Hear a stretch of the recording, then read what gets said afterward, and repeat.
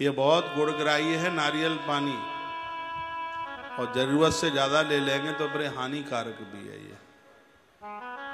ये बाथरूम के रोगों को खत्म करता है, ज़्यादा ले लिया तो बाथरूम के रोगों को भी पैदा कर देता है। नारियल पानी अंदर कहीं भी कौन से भी हिस्से में स्टोन हो, पथरी हो सबको बाहर कर देगा, ये इसकी विशेषता है।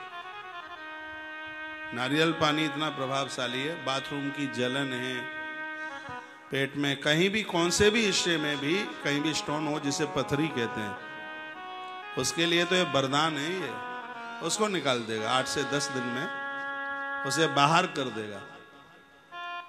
लेकिन एक नारियल से ज़्यादा मत पीजिए उसको।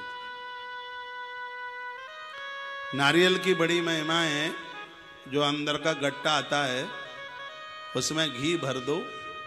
और कोरे मटके में उसको एक साल तक या छह महीने तक नारियल के उस गोले में घी भरा हुआ उसको अंदर रख दो, बाहर से उसको कर दो बंद मटके को। तो उसके अंदर जो भरा हुआ जो घी है वो औषधि बन जाती है। बारह वर्ष पुराना यदि कहीं कोई घी मिल जावे तो अधोमृत व्यक्ति थोड़ी थोड़ी श्वासें ले रहा हो तो उस घी के द्वारा वो खड़ा हो जाएगा। पागलपन खत्म हो जाता है घी के द्वारा। नाक में पुराना घी, देसी घी मिले गैया का, नाक में दो दो बूंद डालो, आदमी का पागलपन खत्म हो जाएगा, मृगी रोग खत्म हो जाएगा, आदमी कोमा में जाने से बच जाएगा। ये सब बड़ी देसी दवाइयाँ